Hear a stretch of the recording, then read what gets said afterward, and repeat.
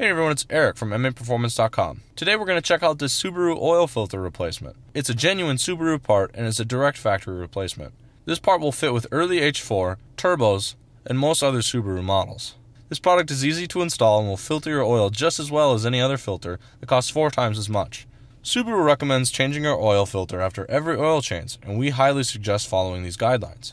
That wraps up our very quick video about factory Subaru oil filter replacements. If you have any questions, feel free to drop them in the comments below.